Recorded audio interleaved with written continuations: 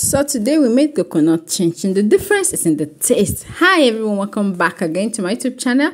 If your first time watching my video, please don't forget to subscribe, turn the bell so that you get notifications whenever I upload a new video. So the first thing I did was in a bowl, I added my flour. I actually used two cup of flour. You can try to use more or less. I added some baking powder, some sugar. I added less sugar because I wouldn't want it to be too sugary. You can decide to add more, you can decide to add less, you can decide to substitute sugar. So I added my milk flavor, I mixed everything together. This is actually the dry ingredient. Don't forget to add your salt. I added a pinch of salt as well. So I mixed my dry ingredients together and set aside in another bowl. I actually used a plastic bowl.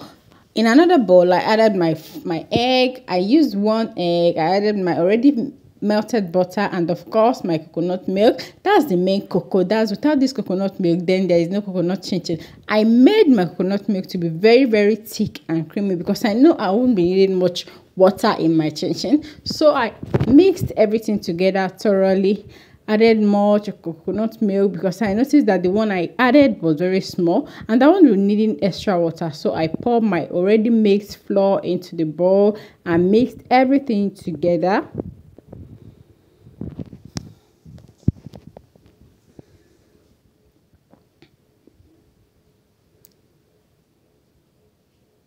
at this point it's becoming already strong. So the next thing i'll do is to rush into my washing sink wash my hand thoroughly left right left right wash it thoroughly because i'm going to use hand to make this into a doll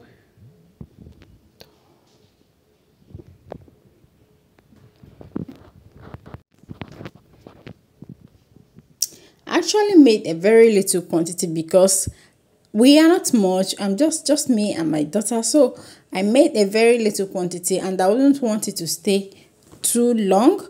So this is the purpose of making this is actually for this video for the video content. So at this point my dough is already ready. So i'm going to cover it for 10 minutes while i prepare my table for cutting the chin into my desired shape. So here i have to cut the dough into two roll it out, then cut and slice my chinchin into my desired shape. While I was doing this, I already have my oil on the fire because I've been needing a very very hot oil for this chinchin. So at this point, I've already cut my chinchin into my desired shape. My oil is already on the fire, very very hot. I had to pour it in and of course turn it immediately because I, so that I won't have it gum together with each other. At this point, I've separated everything because the oil is very, very hot.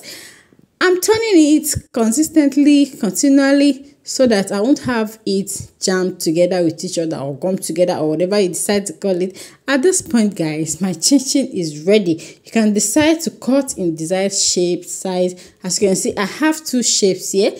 So I made one lighter and one brown. So guys,